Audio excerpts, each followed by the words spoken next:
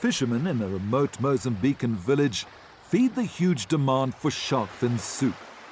Villages like these exist purely to catch sharks. From here, the fins are taken to Maputo harbour, bound for the Far East. Many nautical miles away on the southern tip of Africa, shark fins are of equal importance, but the mission of scientists here is to save the species. And they're doing that by studying images of the fins that often end up on a soup plate. Here in Gansbaai, it is the fin of the great white shark that is of particular interest. A groundbreaking study is underway to determine the number of white sharks in the cage diving mecca of Gansbaai. Tourists flood here, often with the perception that this is an area full flowing with great white sharks, thousands and thousands of them.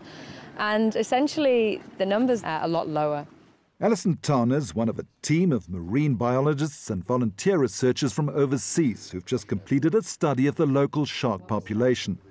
She arrived here after a stint as a dive instructor on the Red Sea and says this is the best place in the world to research them. I knew from very young that South Africa was the place to be to see great white sharks. For Alison, it's the mystery of the creature that she finds so appealing. We still have no idea where this predator goes to breed and mate.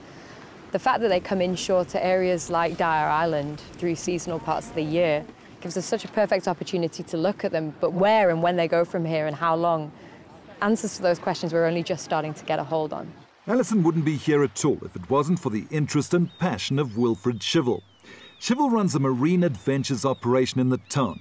He's also a shark enthusiast who initiated the study she's working on. We perceive it, and the most on the planet after Jaws and so on perceive this as an, a monster that wants to kill people. It'll jump on boats, it'll punch your boats, it'll do anything to get to you. It's not true. If you have crystal clear water and the temperature is good, you can dive with a great white.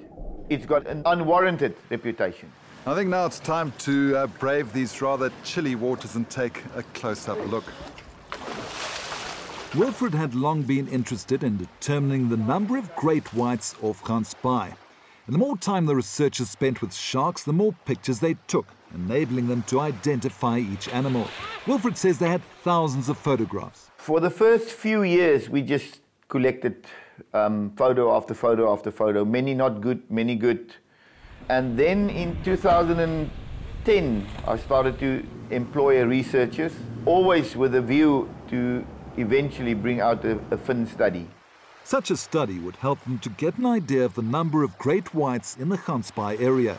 That is just an awesome sight, and the latest research shows just how rare it is.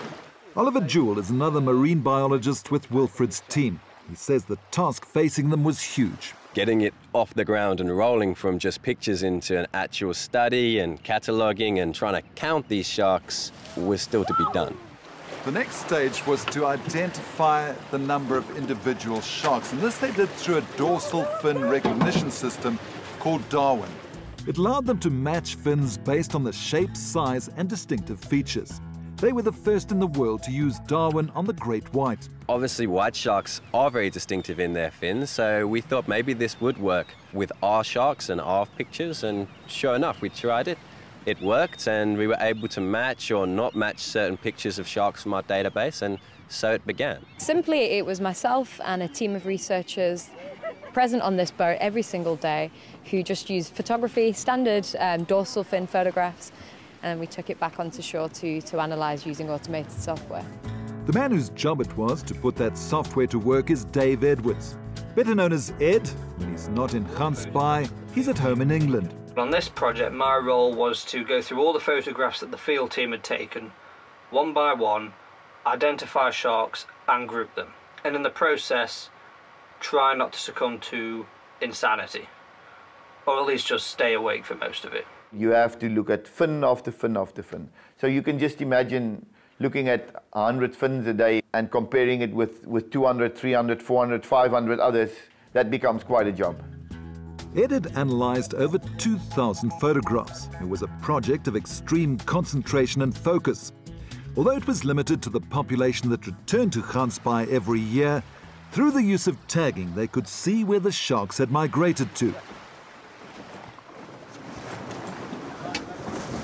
Some of those sharks that we've photographed every single year have gone as far as uh, Madagascar, as far as subantarctic islands, and are now on their way back. I'm looking at one at the moment that, that hopefully will be here in a few weeks.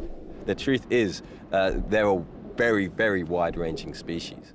So after more than a decade, the team had come up with a shark population for Gansbaai.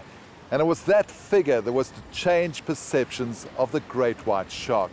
The previous unsubstantiated great white shark population in the area had been estimated at the 2,000 mark. We came out with maximum modelled data just over 1,000, which, yeah, is half.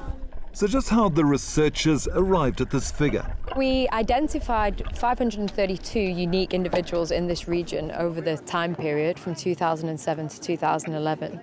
But then what we had to do was um, model that data in order to be able to estimate a regional population.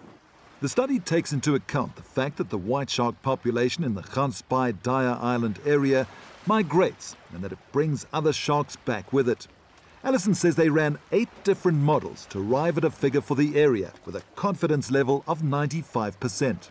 So we think that even though we identified 532, if we were to guess or estimate a population size for this region, we've put it between sort of 800 and uh, 1,002. This figure indicates the white shark is under serious threat, but the danger is far closer to home.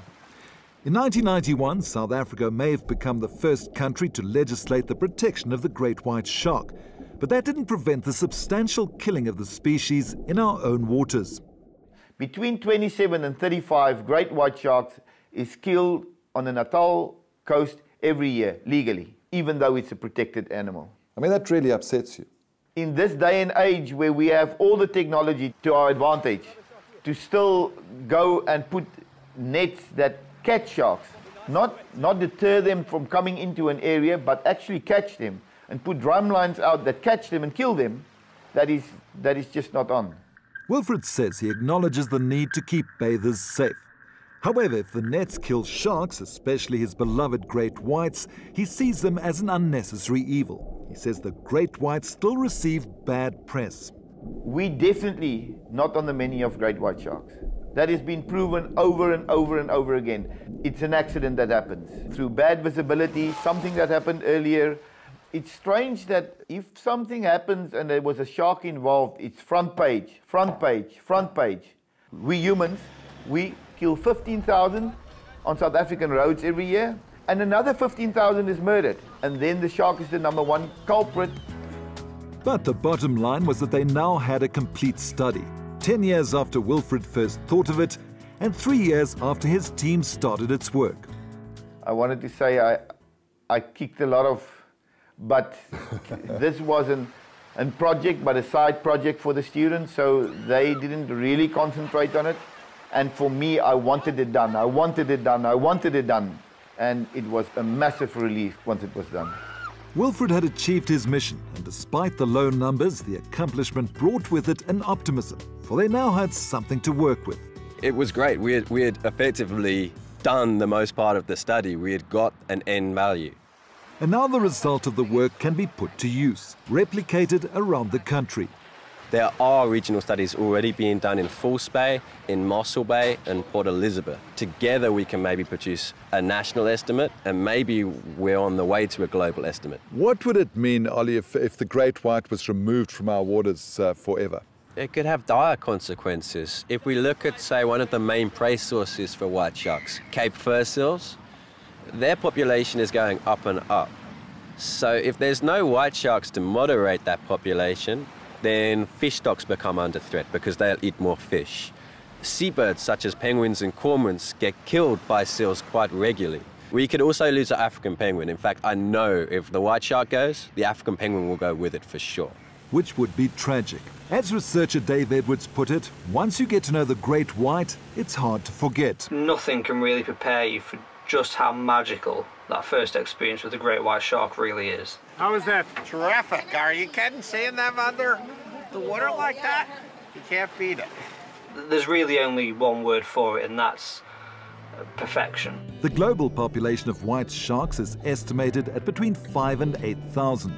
If you consider that we're talking about a population of between 600 and just over 1,000 here in Gansbaai, and it's a global hotspot, then this animal could be in serious need of protection.